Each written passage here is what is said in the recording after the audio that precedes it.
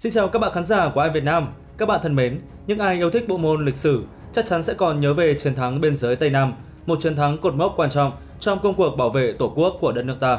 Sau khi đập tan chính quyền Khmer Đỏ và giành thắng lợi, quân đội tình nguyện Việt Nam đã bàn giao lại Campuchia cho chính quyền ông Hun Sen. Có lẽ nhiều người không biết, cũng chính kể từ đó, nước ta đã bị mang một tiếng ác trong suốt nhiều năm liền. Lý do là vì một số quốc gia cho rằng Việt Nam mượn cớ giải phóng để hòng cướp trắng đất của Campuchia. Người dân Campuchia thời ấy luôn nghĩ Việt Nam là kẻ thù và mang lòng căm hận đối với nước ta. Thế nhưng mới đây, trên một tờ báo của Trung Quốc có đăng tải một bài viết với nội dung nói rằng người Campuchia ngày nay đã chuyển từ ghét sang biết ơn sự xâm lược của Việt Nam. Vậy thực hư bài báo này là như thế nào? Có phải ta từng xâm lược Campuchia thật hay là không? Và lý do gì khiến thái độ của người dân nước Cam thay đổi 180 độ như vậy? Và trong video ngày hôm nay, các bạn hãy cùng Ai Việt Nam đi tìm hiểu nhé! Vào ngày 3 tháng 8 vừa qua, trên một trang thông tin điện tử của Trung Quốc có đăng tải một bài viết với tiêu đề Kẻ xâm lược hay vị cứu tinh? Tại sao người Campuchia lại biết ơn sự xâm lược của Việt Nam? Trong bài viết, tác giả đã khẳng định việc Việt Nam đã từng tham vọng muốn chiếm Campuchia và thôn tính Đông Dương. Ai Việt Nam xin được trích nội dung của bài viết. Trái ngược hoàn toàn với bức tranh lý thuyết về cùng một kẻ thù chống lại sự xâm lược của Việt Nam. Nhân dân Campuchia bị xâm lược lần lượt sang Việt Nam và Việt Nam đánh chiếm Campuchia mà không tốn nhiều công sức. Cuộc chiến của Việt Nam đã ngăn cản được Khmer Đỏ, nhưng cũng không thể che giấu được tham vọng xâm lược của Việt Nam. Cùng với đó, tác giả bài viết cũng đề cập tới những lý do vì sao giờ đây người Campuchia yêu quý Việt Nam đến như vậy. Lời giải thích được diễn đạt như sau.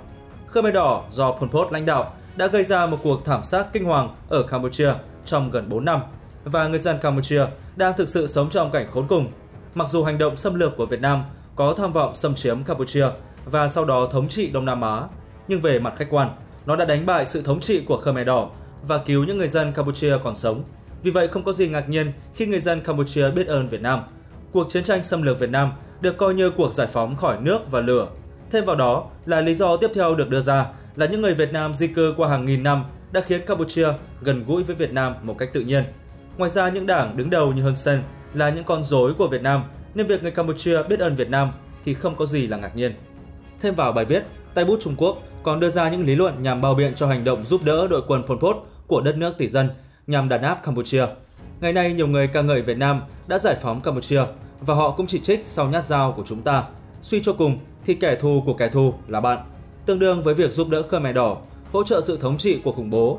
Thực ra đây là một cách hiểu rất thiên lệch, vì nguyên nhân cơ bản dẫn đến cuộc chiến của Trung Quốc với Việt Nam là Việt Nam không chỉ xâm lược Campuchia mà còn điên cuồng kích động xâm lược biên giới của chúng ta.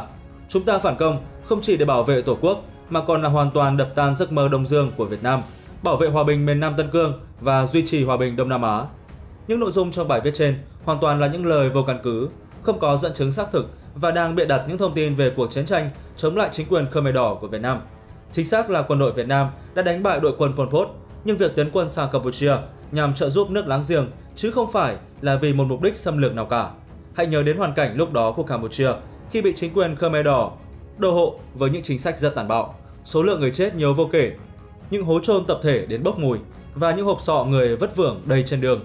Hơn 3 triệu người Campuchia thiệt mạng trong thời gian kéo dài từ 3 năm 8 tháng 20 ngày, từ năm 1975 đến 1979. Chính quyền Khmer Đỏ xuống tay rất ác độc với chính những người là đồng bào của họ, nhưng không hề có sự giúp đỡ. Tờ báo New York Times vào năm 1988 ghi nhận rằng các nước Mỹ, Trung Quốc và nhiều nước phương Tây khác đều biết đến tội ác này và họ đã không làm gì. Lúc này chỉ có Việt Nam đứng lên đẩy Pol Pot ra khỏi Campuchia và chấm dứt nạn diệt chủng. Đối với Việt Nam, tập đoàn Pol Pot mở cuộc chiến tranh xâm lược từ tháng 5 năm 1975 đến ngày 23 tháng 12 năm 1978. Chúng đã giết hại hơn 5.000 dân thường của nước ta, làm bị thương gần 5.000 người, bắt và đưa đi thủ tiêu hơn 20.000 người khác. Hàng trăm trường học, bệnh viện, cơ sở y tế, nhà thờ, chùa chiền ở vùng biên giới Việt Nam giáp với Campuchia bị đốt phá. Hàng nghìn con trâu, bò bị cướp giết, hàng nghìn hecta lúa, màu bị phá hoại, hàng vạn hecta ruộng đất và đồn điền cao su ở vùng biên giới Tây Nam bị bỏ hoang. Hơn nửa triệu người dân ở vùng sát biên giới Campuchia phải bỏ nhà, bỏ đất và bỏ ruộng để chạy về phía đông sống chen trúc bên những hố bom B-52 thời chiến tranh chống đế quốc Mỹ chưa kịp lấp. Trước tình hình tập đoàn Pol Pot gây hấn ở biên giới Tây Nam đất nước, vì lợi ích dân tộc và tình hữu nghị lâu năm, Đảng và nhà nước ta đã kiềm chế, kiên trì thuyết phục, thương lượng giải quyết những vấn đề cụ thể thuộc quan hệ giữa hai nước, hai dân tộc.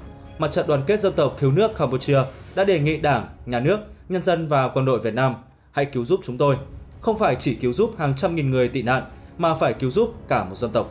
Theo tiếng gọi khẩn thiết của nhân dân Campuchia và Mặt trận đoàn kết dân tộc cứu nước Campuchia, cùng với sức mạnh bảo vệ Tổ quốc thiêng liêng, ngày 23 tháng 12 năm 1978, các chiến sĩ quân tình nguyện Việt Nam không quản hy sinh, sát cánh cùng lực lượng vũ trang của Mặt trận đoàn kết dân tộc cứu nước Campuchia đánh tan lực lượng quân sự của bài lũ diệt chủng Pol Pot.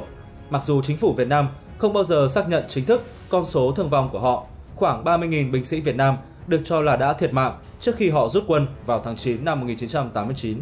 Chúng ta tự hào vì Đảng ta đã nêu cao tinh thần độc lập, tự chủ và sáng tạo trong lãnh đạo sự nghiệp cách mạng của dân tộc ta. Không hề có một chút tham vọng xâm lược hay là ý định thôn tính Campuchia. Tất cả đều vì nền tự chủ dân tộc và tình hữu nghị bền chặt giữa hai quốc gia. Nhiều năm tháng đã qua đi, sự hoài nghi giữa hai dân tộc Việt Cam cũng dần được xóa mờ theo thời gian. Đã từng có nhiều người Việt ở Campuchia không được cấp hộ tịch, những đứa trẻ gốc Việt không có giấy khai sinh, dẫn đến việc không được đi học trường chính phủ, không bằng cấp, không hộ chiếu, không thẻ ngân hàng, không thể đi làm công việc nhà nước. Nhưng vòng đời luẩn quẩn ấy lặp đi lặp lại. Ở thời điểm hiện tại, tuy tình trạng ấy vẫn còn tồn tại, nhưng may thay nó cũng giảm bớt đôi chút và ánh nhìn ác cảm của một dân tộc đã dần trở nên thân thiện hơn. Để làm được điều đó, phải kể đến nhiều lý do. Thứ nhất, có lẽ là do che già mang mọc. Lớp người mới đã có những nhận thức tân tiến hơn. Họ phân biệt được đâu là đúng và đâu là sai. Và hơn hết, họ biết nếu không có Việt Nam, Campuchia sẽ không còn có cơ hội hồi sinh, vực dậy lần thứ hai. Đã từng có thời gian người Cam bị quân Pol Pot cũng như thế lực hậu thuẫn phía sau Trung Quốc tẩy não, không ngừng tuyên bố rằng kẻ thù của Campuchia chính là Việt Nam. Chính Việt Nam đã đem quân sang xâm lược nước họ, giết người nước họ, cướp đất của nước họ. Cách suy nghĩ xuyên tạc vẫn được Trung Quốc truyền nhau đời này qua đời khác và cho đến tận bây giờ. Điển hình lao qua bài báo trên. Vậy nhưng thời thế thay đổi, sự hiểu biết của một dân tộc cũng dần văn minh, hiện đại hơn. Người dân Campuchia ngày nay biết được rằng cuộc chiến năm xưa của nước ta chính là một cuộc chiến tranh chính nghĩa. Chính vị thủ tướng của đất nước Cam cũng từng nhiều lần lên tiếng, ông và nhân dân của nước ông mãi ghi ơn công lao to lớn của Việt Nam vì đã giúp Campuchia hồi sinh từ chế độ Khmer Đỏ. Lý do thứ hai phải nhắc đến đất nước Trung Quốc. Chính sự bành trướng của Trung Quốc tại Campuchia đã khiến người dân nước này bắt đầu chuyển dần từ thái độ phân biệt đối xử người Việt Nam sang ác cảm với người Trung Quốc. Trong những năm gần đây, Trung Quốc rót khá nhiều tiền vào Campuchia, đầu tư từ mặt quân sự, tài trợ miễn phí vaccine hay xây tòa tháp đôi kỷ lục vượt mặt Malaysia. Mới đầu, có lẽ nước Cam sẽ dựa vào Trung Hoa nhiều, nhưng dần dần họ nhận ra sự quan tâm thân tình của anh bạn Trung Quốc chẳng khác gì Pháp đầu tư cho Việt Nam vào những năm còn đô hộ cả. Trung Quốc đang dần biến nước Campuchia thành một Trung Hoa thu nhỏ thứ hai. Người Campuchia hiện đang lo lắng về người Trung Quốc hơn là người Việt. Trung Quốc đã biến một thành phố biển yên bình và có vị trí đặc biệt trong lòng dân Campuchia thành nơi có nhiều sòng bài, băng đảng và là nơi rửa tiền. Vũ Minh Hoàng, nghiên cứu sinh tiến sĩ ngành lịch sử Đông Dương tại Mỹ, nói có mặt tại Phnom Penh hồi tháng 7 năm 2019 để tham dự hội thảo quốc tế về nạn diệt chủng. Nhà nghiên cứu Vũ Minh Hoàng cho hay anh có thêm cơ hội chứng kiến tận mắt ảnh hưởng của Trung Quốc tại đây. Trước đó anh từng tham gia hội thảo chủ đề đầu tư và cạnh tranh giữa Trung Quốc, Việt Nam tại Campuchia qua các thập kỷ tổ chức tại Mỹ. Còn một lý do nữa để người dân Campuchia ngày nay thay đổi hoàn toàn thái độ với nước ta, đó là vì Việt Nam luôn tỏ ra thiện trí, ra sức giúp đỡ nước họ trong tình cảnh khó khăn mà không muốn được đền đáp. Nhất là trong bối cảnh đại dịch Covid-19 bùng nổ khắp toàn thế giới, tất cả các quốc gia đều căng mình chống dịch.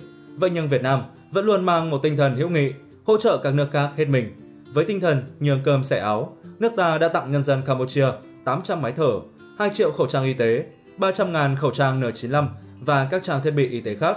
Trước đó Việt Nam đã viện trợ cho Campuchia nhiều trang thiết bị y tế phòng chống COVID-19 như đồ bảo hộ, khẩu trang y tế, thiết bị test COVID-19 và 200.000 đô la Mỹ.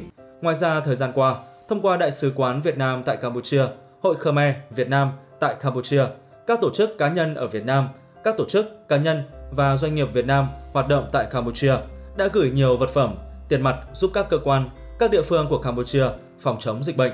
Tất cả những đóng góp ấy của Việt Nam đều được nhà nước và nhân dân nước bạn hết sức khắc ghi, cảm kích. Bài báo trên của Trung Quốc có thể nói hoàn toàn mang một giọng văn thù địch nhằm đả kích, bôi nhọ nước ta. Thông tin mà người viết đưa ra hoàn toàn cảm tính, vô căn cứ, sai lệch hoàn toàn so với lịch sử. Trải qua bao nhiêu năm đấu tranh, người dân Việt Nam có thể tự hào tin tưởng vào sự lãnh đạo của Đảng và Nhà nước. Ai Việt Nam cũng tin chắc rằng người dân Campuchia cũng như các dân tộc khác trên thế giới sẽ đủ thông thái để hiểu rõ tốt xấu, biết đâu mới là quốc gia có thiện trí, và đâu mới là quốc gia luôn ngấm ngầm rượt dây để hòng trục lợi. Video ngày hôm nay đến đây là kết thúc rồi. Các bạn nhận được thông tin gì thú vị và ý nghĩa thì hãy chia sẻ video này của Ai Việt Nam đến với mọi người nhé. Hãy nhấp vào bên trái hoặc bên phải màn hình để theo dõi những video thú vị khác của chúng mình. Và ở những video tiếp theo, các bạn muốn Ai Việt Nam thảo luận về vấn đề gì nào? Đừng quên gợi ý cho chúng mình trong phần bình luận phía dưới nhé. Cảm ơn các bạn đã quan tâm theo dõi. Xin chào và hẹn gặp lại.